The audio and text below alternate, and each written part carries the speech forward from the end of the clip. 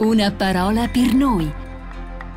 Commento al Vangelo della domenica a cura di Don Piero Rattin. Buongiorno. È un bel racconto quello che ci consegna il Vangelo di questa prossima domenica. Bello nella sua conclusione, perché nella prima parte è un po' sconcertante.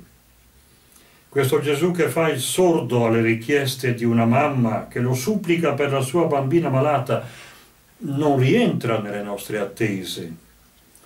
È pur vero che quella donna non è ebrea, ma come può essere che Gesù, abitualmente attento alle persone anziché alle loro appartenenze culturali o razziali, come può essere che distolga la sua attenzione da lei? Io non sono stato mandato se non alle pecore perdute della casa di Israele, afferma equivale a dire sono qui per gli ebrei, non per i pagani. Quella donna però non si dà per vinta. Il primo rifiuto la rende ancora più audace.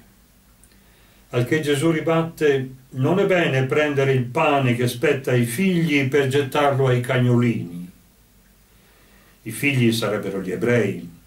Erano talmente convinti di essere popolo eletto da permettersi di guardare dall'alto in basso tutti gli altri cani li chiamavano. Gesù è un po' più moderato, usa il vezzeggiativo cagnolini. Sarà anche vero, Signore, riprende quella donna, però ricordati che anche i cagnolini mangiano le briciole che cadono dalla tavola dei loro padroni. A quel punto il Signore cambia atteggiamento. La sua durezza era tutta una messa in scena per far esaltare la fede di quella povera donna grande è la tua fede, le dice, avvenga per te come desideri. È saggio pensare che a questo mondo ci siano donne e uomini i quali, quando c'è da fidarsi di Dio, comunque lo chiamino, si fidano davvero e senza condizioni. Ci sono. E questa storia ci fa rizzare gli orecchi e ci provoca con quell'interrogativo che già ci è familiare in queste domeniche. Certo, siamo credenti in Gesù Cristo, ma in che misura? E se per caso Dio fa il sordo quando lo preghiamo, come reagiamo?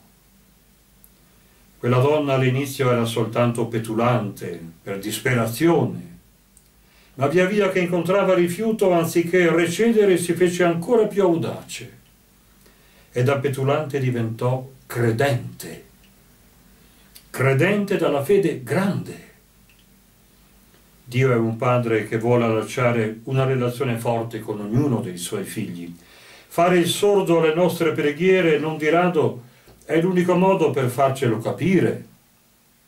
Lui in realtà non vede l'ora di poter dire a ciascuno di noi sì, davvero grande è la tua fede. Buona domenica. Una parola per noi Commento al Vangelo della domenica a cura di Don Piero Rattin.